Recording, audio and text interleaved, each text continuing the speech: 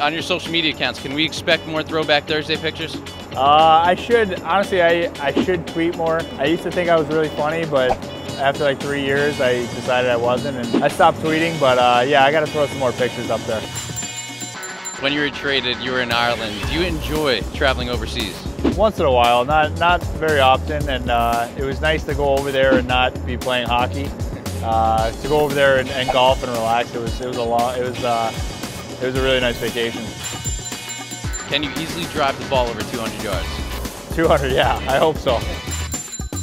About 300? Uh, 300, that's uh, that's probably right around where the uh, the average is going to go. Are you the best golfer on this team? Definitely not. Does your dad take a fishing rod out to the golf course every time you guys do go out as a family? Uh, not every time. When I take him to a couple of the nicer courses, I make sure the fishing pole stays in the car. You've caught tuna before. Do you have a favorite spot to go fishing? Uh, no, actually, I as a kid I went shark fishing off uh, off of Long Island the one time, and uh, when I caught that tuna, it was off of Cape Cod. Uh, the deep sea fishing is a lot of fun, though. Would you consider yourself one of the best dressed players on this team? Top five, maybe. Uh, there's, there's some bad style on this team, that's for sure. But uh, no, I, maybe top five. I'd sneak in there. Is Adam Henrique the best dressed player on the team?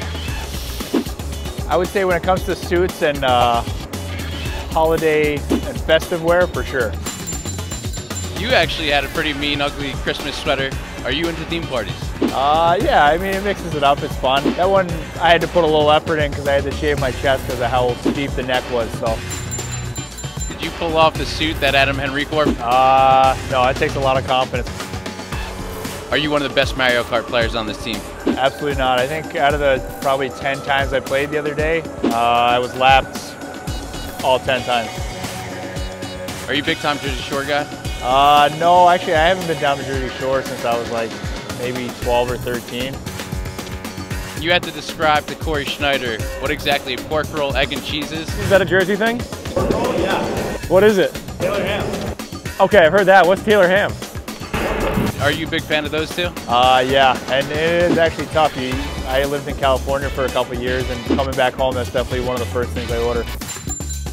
Would it be a dream come true having grown up in New Jersey to play a Stadium Series game at Yankee Stadium if they were to have one again? Uh, yeah, I think that'd be awesome. Um, even though I grew up a Met fan, it's a special experience. It kind of brings you back to when you first started playing the game, and outdoor hockey is it's a lot of fun for uh, us as players and the fans too. If you could ask anybody a question, and you were guaranteed a yes, what would the question be and who'd you ask it to? Oh, maybe I'd ask Adam Henrique where he buys all these ridiculous suits from. And then have him buy them for you? Yeah, why not? He makes enough money. He could buy a couple for me.